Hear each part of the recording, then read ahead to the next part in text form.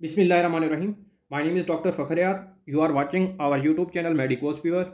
We are providing the series of vitamin. Previously, we have discussed vitamin B1. Now we are discussing the vitamin B2 and the vitamin B3. Vitamin B2, its chemical formula is the riboflavin and it has two its active form. Number one, flavin mononucleotide and other is the flavin adenine dinucleotide. Mainly involved in the oxidation reduction reaction it is less important because of its clinical manifestation. Number one is the cheilosis. Cheilosis on the lip side area, here in the mouth on the lip side side area, there is inflammation. In case of the dermatitis, dermatitis, inflammation of the skin area, photosensitivity. And number third is the glossitis. The name represent, this is the gloss. Gloss represent with the tongue area. Glossitis, inflammation of the tongue. This is about the vitamin B2. Now the most important is the vitamin B3 which is the most important. In case of the vitamin B3 it is mainly as known as the niacin. Niacin its active form are the NAD plus and NADP plus. NAD is the nicotinamide adenine dinucleotide and its phosphate form. Mainly it is derived from the amino acid tryptophan and 60 mg of tryptophan mainly involved in the formation of 1 mg of niacin how the most important is the disease point of view. If there is a deficiency of the vitamin b3 deficiency leads to this disease is pellagra pellagra represent with three d's.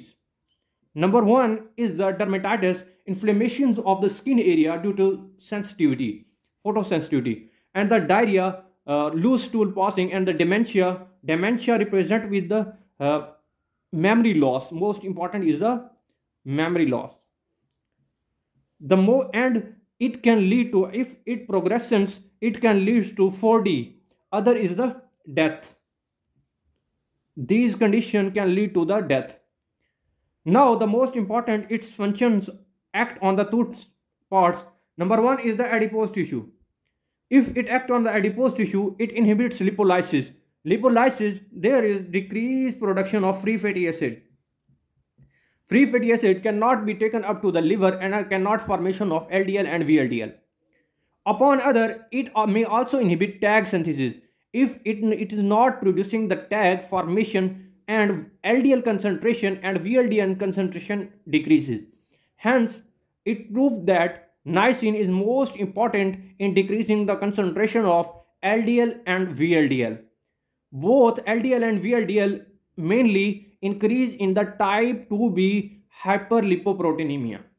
Now, in the treatment of type 2b hyperlipoproteinemia, we will give the vitamin B3 which reduces LDL and the VLDL. That we all discuss about the vitamin B2 uh, and its clinical manifestation with vitamin B3 which is the most involved. Uh, 3D is most important, pellagra important and its actions of the two different uh, parts. Number one is the adipose tissue and number second is the liver. That decreases LDL and VLDL concentration and treatment of hyperlipidemia type 2b hyperlipoproteinemia. Now the most important is if a person using corn corn has less in, diet with the tryptophan and niacin and can lead to pellagra corn deficiency of the corn can lead to the pellagra number one more important if we are uh, giving the person to the vitamin B3 in niacin, that can lead to the flushing. To avoid the flushing, we give the aspirin with it. Aspirin to avoid flushing. Because its toxicity is the flushing.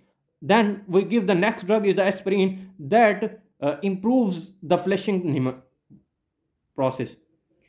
Thank you so much. Jazakallah Allah Hafiz. Please like and subscribe our channel Medicose Fever and remember us in your prayers. Allah Hafiz.